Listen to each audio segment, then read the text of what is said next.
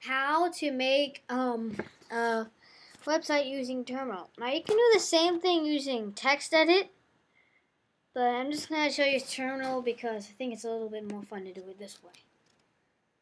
So here we are, Terminal, and now what you type in is nah. Wait, never mind. What you first type is CD desktop and hit enter. Now you might note, and you might also notice a little desktop right there. So once you see that, then that means you did it correctly. Now what you type in is nano space.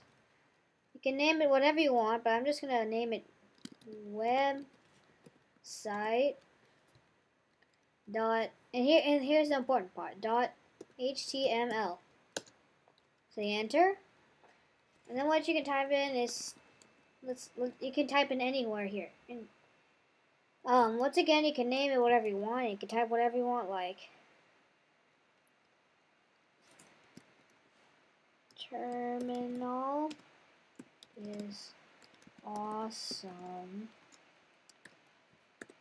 Techno dude 7812.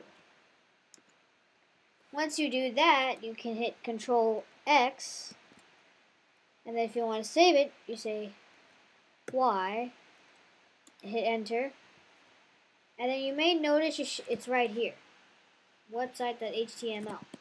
Open that up, and then with your browser, and you should be opening up a website. However, nobody's going to access it because you have this weird old address and stuff.